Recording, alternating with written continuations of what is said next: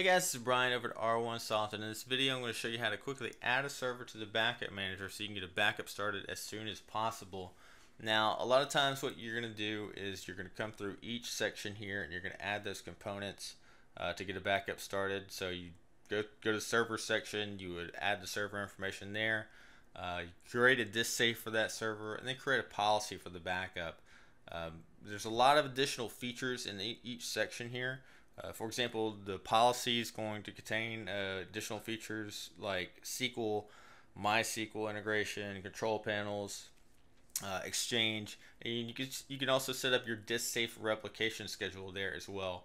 But let's just let's say we just want to add a server here, get the backup going, and we're not really worried about additional features right now. We'll just add those later if you need them at all. Uh, what you can do is just come to the main dashboard here and click on add a server here at the top left of the screen. Once I click on that, we're going to open up the add a server wizard and this is going to be some basic steps just to get everything, all those components added and start your backup. Uh, first screen here, we want to supply a host name or an IP address. So I'm going to add that information here. And down below that, we have the option of deploying the agent installation from the backup manager. Uh, so if you've um, you've already got your your agent ins install done, it's complete, it's ready to go. Um, go ahead and uncheck that box. But if you want to to install from the backup manager, we leave that checked, and we're going to supply the administrative credentials for that server. Now, if this is a Microsoft server, uh, Windows server, you're going to have to uh, re reboot it. That's just a requirement on their end. So You'll need to plan for that. You don't have to reboot right away after you install the agent, but before you can start backups, you'll have to reboot. So go ahead and plan ahead for that. Uh, I've already got my agent installed, so I'm just going to leave this unchecked, and I'm going to click on next, and we're going to validate that uh, that is a resolvable IP address, and yes, it is. Uh, so next screen, we're going to set up our disk safe. Uh, top here, we're going to uh, add this uh, to a volume if we want to. But uh, so let's say, you know, I'm going to go ahead and add this to the Stark Industries volume. This this is another server that I'm backing up for that company. So I want to group those in a common uh, area, and then I'm going to go ahead and add it to that volume. Now down down at the bottom here, we have a few options: uh, compression and encryption compression, we're, we're going to do that by default. So as you can see, we've got QuickLZ automatically selected. It's uh, it's our most our, our fastest, most efficient uh, uh, compression engine that we have here in the product.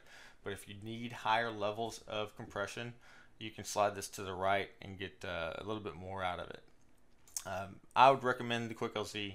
It's going to be minimal I/O while we're compressing that data, so um, I'm going to leave that there.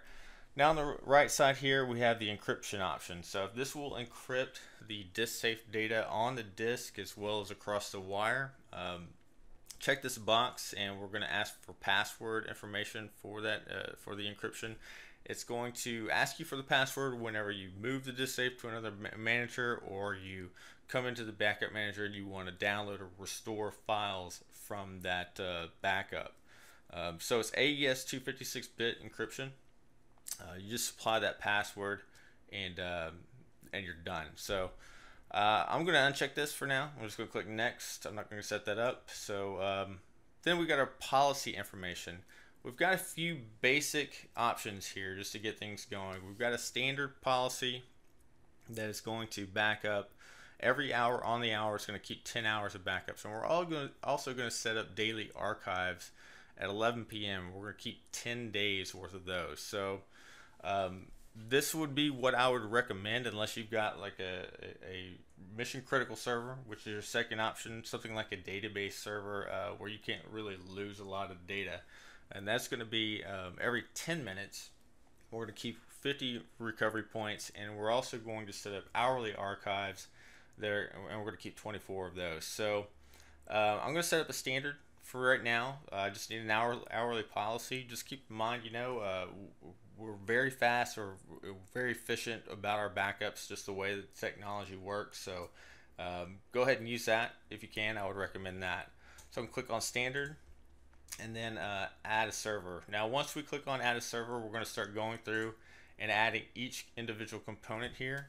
And we're also going to have uh, an option here at the end to start doing your backups uh, right away. So let this kind of finish up.